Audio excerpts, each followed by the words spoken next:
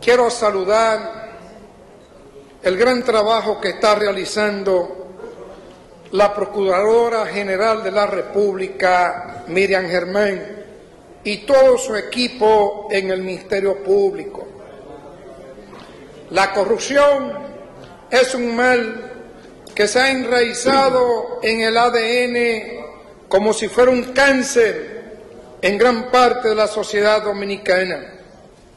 Ese cáncer tenemos que extirparlo y solamente lo podemos extirpar con un ministerio público independiente, valiente y comprometido con la construcción de un país decente.